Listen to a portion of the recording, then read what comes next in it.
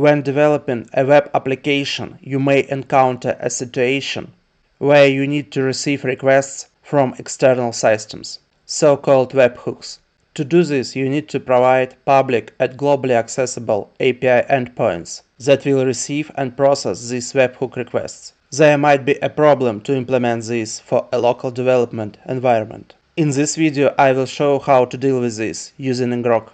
In my example, I will receive Slack event webhooks but the idea will be the same for many other systems and platforms. ngrok is a unified ingress platform that combines different components to deliver traffic from your services to the internet, and one of them is a reverse proxy. A reverse proxy is a server that sits in front of your app service and routes requests coming from the internet. Let's look at a practical situation where I used ngrok reverse proxy. I have a web application that is deployed to my local environment. This application cannot be accessed from the external internet. But at the same time, it is integrated with the Slack platform and I want to receive Slack events. To do this, I need to provide a globally accessible API endpoint through which Slack can send webhook requests with an event payload. So this is where ngrok comes into play. It allows you to create a static domain on its platform that can be used to receive webhook requests. To do this, you need to create an account on the ngrok website. Go to the domains page and create a static domain.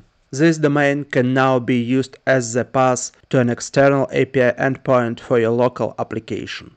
And I do this by setting up the request URL in the Slack app settings for events. Here is my ngrok domain. Once the request is forwarded to my local environment, the ngrok domain will be replaced with my internal domain, which is actually equal to localhost. The remaining part of the URL will be used for local routing.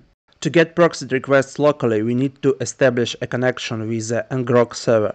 For this I use the ngrok npm package. This package provides a forward method.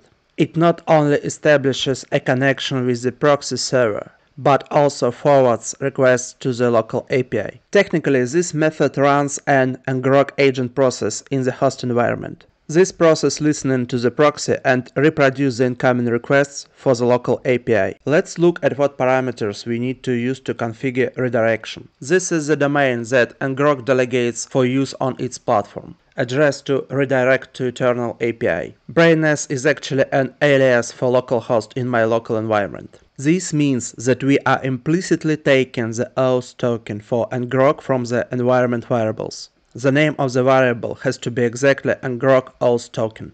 The auth token can be found under your ngrok account in the your auth token section. My webhook provider is a Slack platform, but there is a long list of providers that ngrok supports. With a webhook secret we can be sure of the sender and make the endpoint more secure. For the Slack case, I'm using Slack signing secret from my Slack app info. It is important to remember that if you use a self-signed SSL certificate, like I do, your environment variables should contain SSL cert file with the path to the certificate file. And ngrok uses it implicitly to avoid SSL errors. We see the message that the connection with the ngrok proxy server has been established. This means my configuration was successful and I will now receive webhooks from Slack locally. Let's try to check this and go to my controller, which serves the router that I specified in the request URL field in the Slack settings. And here I print out the body of the request. Now I fire a Slack event by leaving the channel. And this is a Slack event object that we got locally.